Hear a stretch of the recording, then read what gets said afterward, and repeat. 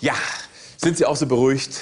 Die eiserne Kanzlerin hat den Fiskalpakt in Europa durchgedrückt. Jetzt ist ja alles gut, jetzt kann ja nichts mehr passieren. Wir kriegen eine Schuldenbremse. Was bremst so eine Schuldenbremse eigentlich? Schulden? Ich meine, nach der Logik müsste ja eine Handbremse die Hand bremsen. Ich kann Sie beruhigen, eine Schuldenbremse bremst überhaupt nichts. Die soll doch nichts bremsen, die soll was beschleunigen. Die Schuldenbremse beschleunigt das Wachstum in Europa. Das ist ihre Aufgabe. Sehen Sie, wir beschleunigen das Wachstum durch eine Vollbremsung.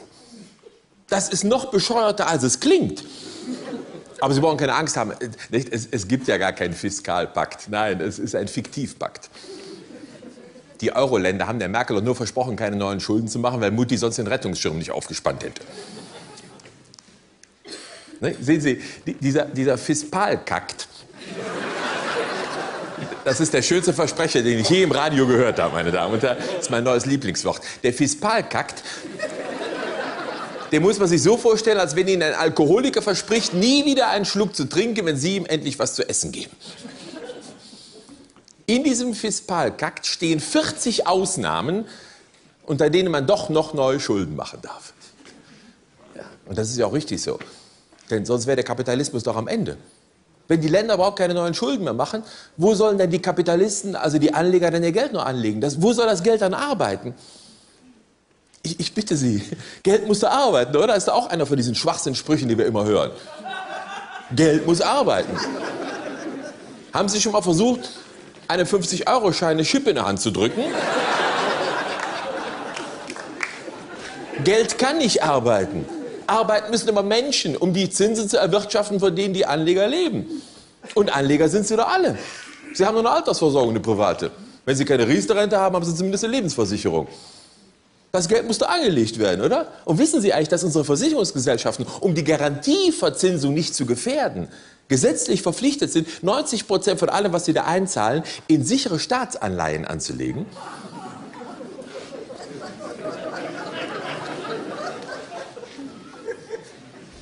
Die Deutschen sparen jedes Jahr Milliarden von Euro in Lebensversicherungen. Haben Sie mal eine Sekunde lang darüber nachgedacht, wo das Geld überhaupt noch angelegt werden soll, wenn die Staaten tatsächlich keine neuen Schulden mehr machen? Denken Sie lieber nicht drüber nach. Sie würden die Politiker völlig verunsichern. Das ist ja das Tolle, dass der Kapitalismus längst von einem schnöden Wirtschaftssystem zu einer Religion mutiert ist. Und eine Religion muss man nicht begreifen, die muss man einfach nur glauben.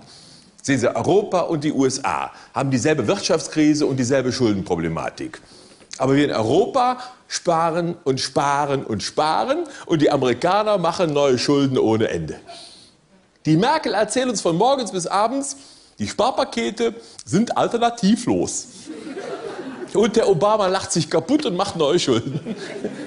Das Gegenteil von dem, was uns helfen soll, hilft den Amerikanern bei der gleichen Krankheit. Das ist Wahnsinn. Der Obama hat dieses Jahr 700 Milliarden Euro neue Schulden gemacht, letztes Jahr auch. Der macht jedes Jahr so viel neue Schulden, in einem Jahr neue Schulden, wie Griechenland, Spanien und Portugal in 40 Jahren an Staatsschulden insgesamt aufgehäuft haben. Aber die Amerikaner müssen keine Strafzinsen zahlen. Nein, die Amerikaner kriegen immer Geld geliehen, weil die haben eine Armee, die kommen sich das Geld sonst holen. Der Finanzkapitalismus weltweit und vor allem die amerikanische Währungspolitik haben sich längst komplett von dem abgekoppelt, was in der Realwirtschaft überhaupt möglich ist. Aber das ist das Tolle am Kapitalismus. Der ist so organisiert, dass die einen dran verdienen dürfen und die anderen dran glauben müssen. Und dran glauben müssen die, die das Geld erwirtschaften müssen, dass die bekommen, die es nicht verdient haben. Das ist ganz einfach. Die kleinen Leute müssen jedes Jahr noch produktiver arbeiten, um die Riesengewinne zu erwirtschaften. Und noch produktiver und noch produktiver im Niedriglohnsektor. Dabei habe ich nie verstanden, was Produktivität und all dieses ewige immer höher, schneller, weiter und noch mehr mit einem natürlichen Leben zu tun hat. Sehen Sie, so ein Löwe. Der jagt eine Antilope, dann frisst er die und dann legt er sich schön in die Sonne und genießt das Leben. Das ist ein Leben. Der Löwe kommt doch nicht auf die Idee zu sagen, Moment mal, ich habe für die Antilope jetzt gerade zehn Minuten gebraucht. Wenn ich mich ranhalte, schaffe ich heute noch sechs. Da kann ich morgen frei machen.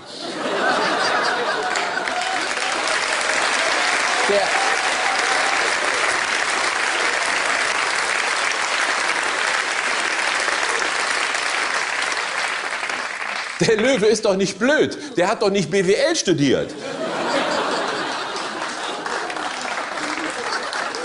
Der Löwe weiß ganz genau, an seinem freien Tag wird er einen Kühlschrank bauen müssen, um die Antilopen frisch zu halten. Und am nächsten freien Tag muss er noch mehr Antilopen jagen, die er dann eintauscht gegen den Strom, um den Kühlschrank zu betreiben. Deshalb liegt der Löwe in Ruhe in der Sonne und genießt das Leben. Nur der Mensch, der lässt sich einreden, dass er jedes Jahr noch mehr Antilopen pro Tag erlegen muss, um sich jedes Jahr auch noch das neueste Kühlschrankmodell leisten zu können, meine Damen und Herren. Das sind wir hier. Nun ja, viele Menschen.